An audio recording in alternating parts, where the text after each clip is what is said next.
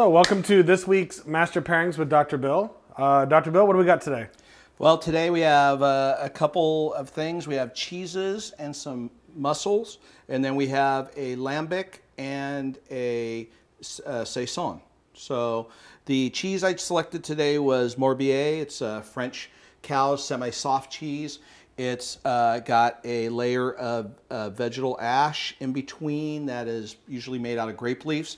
And what they do is they take the morning milk and then the evening milk and they create a cheese out of it. So it's two different layers. So, that's not actually a, a, a line of like mold or. No, no, that's not mold. That's ash, and it's neutral in flavor. So you wouldn't. It's not like you would take a bite and it'd ruin the cheese because it'd be smoky or Okay. or anything like that. And then what I did, I prepared some black mussels. Um, I used a little uh, St. Louis Gueuze Fond Tradition, uh, parsley, shallots, uh, lemon, and a little garlic. And so we'll try those. And I thought we'd try them with both of these. Traditionally, I like to cook a lot of mussels with uh, gueuzes or lambics. Uh, and then I like to either drink them with saisons or also lambics. So the two beers I chose today was uh, DuPont Saison.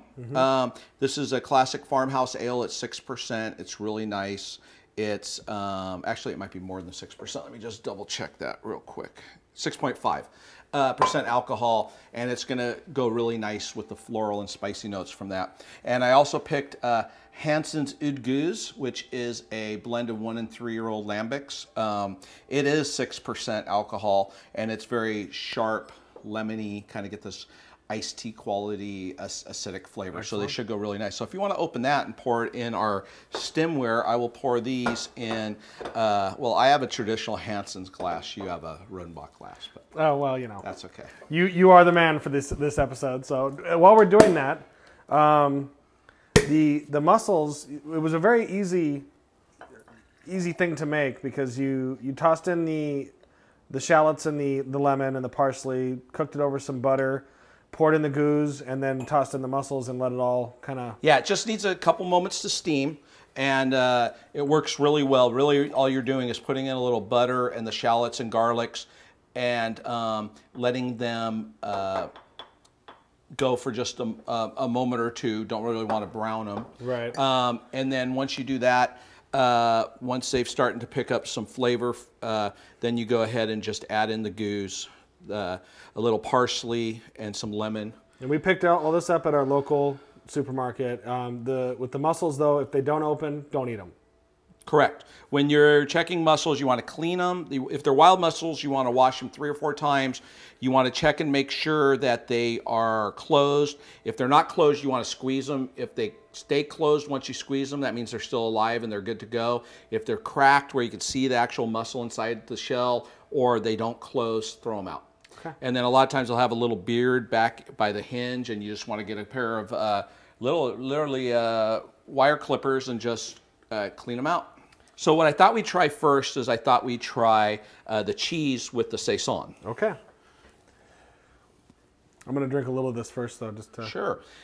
Once again, uh, whenever you're tasting anything, as far as beers, wines, spirits, you always want to take three sips. The first sip, you want to vigorously swish around in your mouth and cleanse your palate from the Dentyne gum you just had, the cigarette you smoked, the previous beer, anything like that.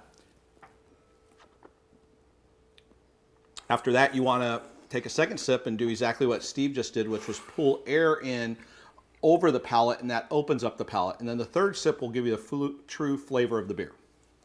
When you taste something, you kind of want to let it coat your mouth, be in your mouth before you take um, the beer over it, so you can get the the accompaniment of the beer. This is a mild, creamy cheese So good. Um, has a little hay. Um, just really nice, little crystallization in it, which I'm kind of surprised, but that's probably more from uh, the actual outer layer. But it tastes really wonderful, and I think it's going to go well with this. yeah, definitely. Yeah, I think it. Uh, the cheese still shows up, but the, this beer in particular, it brings out floral and hop notes with it, and it makes it just really, really enjoyable. Yeah, I think that this the beer when you when you drink the beer, you don't get a super strong flavor on it. and but it, when you eat the cheese, the flavor is strong enough to stay with you, and you don't lose it in the flavor of the cheese, and they, they do complement complement each other real well. So now I'm gonna have us try a couple of the mussels with this beer. All right. And um, you can use your fork to pull off the mussels. They pull off fairly easily. Uh, what I do traditionally, what they do when you're in Belgium is you'll go ahead and grasp, use a pair like a maracas, grasp the mussel, and even like that. With your fingers. And then once you have an empty, Come to me. once you have an empty one, uh, you just go ahead and use that for your utensil. Wow, it's good. Oh, yeah, I really like the uh, the garlic flavors that you're getting off the mussel. Right. Really just. but they're not overwhelming. They play Oh, really no. well with the spice of, of the uh, saison, and but also you get a little of the acidity from the uh, Fond Tradition, the St. Louis Gueuze, which shows really nicely in the shallots, and it, and it just plays really nice with the unctuousness of the uh, mussels. Yeah, no, it works really well.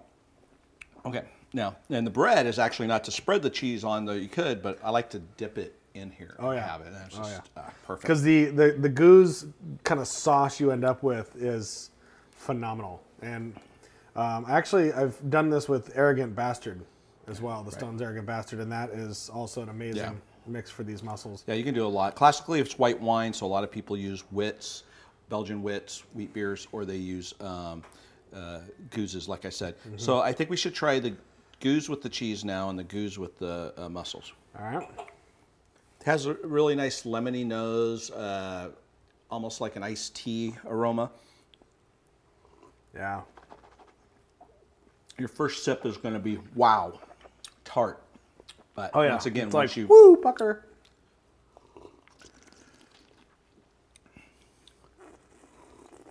By the time you get that third sip, it is just so satisfying. Lem- think the best lemon iced tea you've ever had in your life. Yeah, definitely. It's just so good. It's like a- like a little Arnold Palmer with a kick. Yeah, it's so thirst quenching. It's just delicious. Oh, yeah. This is this would definitely be a good hot afternoon kind of relaxing with your friends kind of beer. You know, people. Of course, you know it's an expensive. people you know uh, say you know mass marketed beers, good lawnmower beer things like that because it's hot. This is my lawnmower beer. right. This is what I'm drinking while I'm mowing my lawn.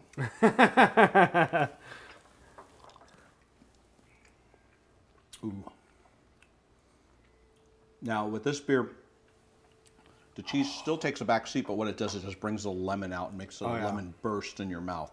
So it really accompanies the creaminess of the cheese. And it tones the sour down just a little It, bit. it, the sourness, but you still get that lemon. Get the ta- yeah, you get all the flavor you of the get- lemon. You get the uh, acidic level brought down from the cheese, and it plays perfectly into that. Mm-hmm. Oh, yeah. And um, I always like Oh, washed rind cheeses. Uh, they can just go great with lambics and saisons, Mm-hmm. but I, I think they play really well. That's excellent. Yeah. I can sit here and drink this all day.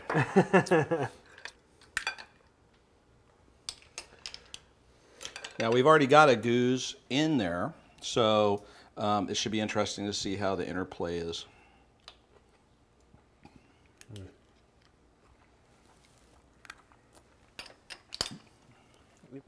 Once again, it doesn't take the back seat. You get the brininess of the sea, but you get the acidic level drop down, and you get this lemon tart flavor that's just amazing. Yeah. That just oh. And this is this is a very like this is an amazing pre-dinner sort of like if you're if you're gonna be having some appetizers and whatever, a plate of plate of this with some cheeses and breads and even the, the saison or the gueuze out for your, your guests to try. That's that's awesome. That's an excellent start to an amazing meal. Yeah, it's definitely uh, it awakens your palate. Oh yeah. So uh, this has been another master pairing with Dr. Bill, and believe me, it was masterful. Um, thank you very much, and uh, cheers. Cheers. Boom.